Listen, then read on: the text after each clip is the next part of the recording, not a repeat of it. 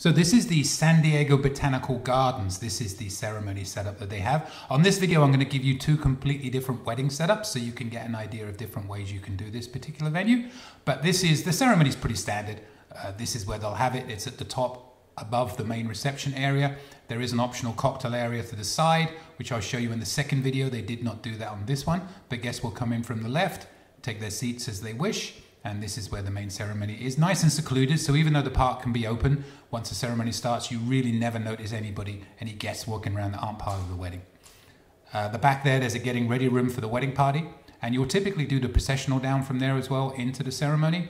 You'll see the musician in the back on the right. If I was DJing, uh, I would set my system up there as well. But that walk through at the back there is also the way you would get to the alternative cocktail area, which they did not use in this wedding. So uh, when the ceremony was over, they came out, walked down this pathway to the bottom of that little hill, and on the left is where the reception area was. That little caravan type thing was a food truck they had for the day, which was pretty awesome. So again, this is the walk from the ceremony to the main reception area, and this is how the setup was. Uh, you'll notice in the second video it wasn't quite as good in my opinion because there the speakers are right on the dance floor and there's not a lot of tables of guests in the way. On the second one you'll see they set it up differently against my recommendation, but what can you do? So you'll see they had the food truck there, as I said, a couple of bars around where the black tables are, that little area at the back there, the little bodega thing is where they had the cake, right at the back there, another bar on the right. This is just panning around from the opposite side. You'll see they had the market lighting set up all around. It's a really nice outdoor venue. And uh, they do have strict noise restrictions, but um, if you don't pump the bass and don't talk on the mic, it's, it's fine, absolutely fine. Use a DJ that knows what they're doing and doesn't just want to make it as loud as possible while still being effective, as they say. So one more pan around. Once again, there's the food truck.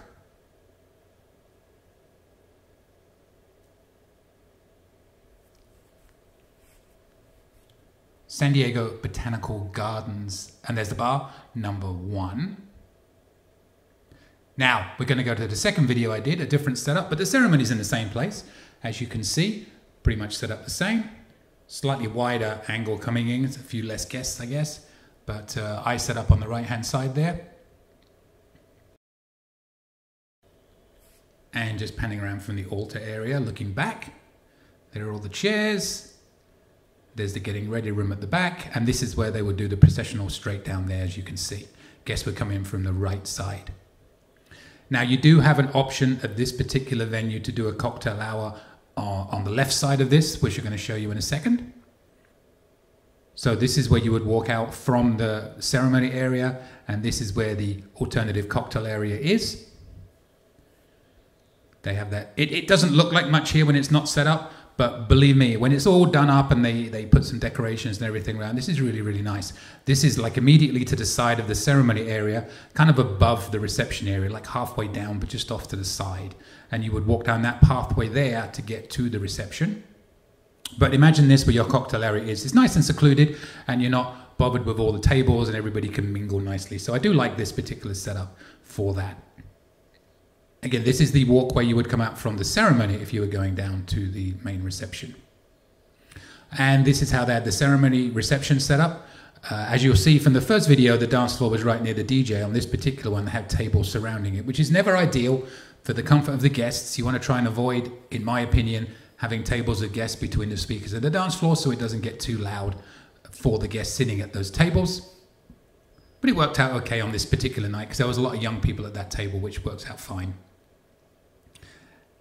And then, as before, it's a very similar setup once you get to it. It's just set up in a different way with the, the, decorations and the florals and everything. And they actually did the cake outside of that bodega. They put a photo booth in that bodega this particular time. The bar is still there on the right, but you can see them setting up the cake right there. A little bit dangerous setting up outside, I thought, but not my wedding.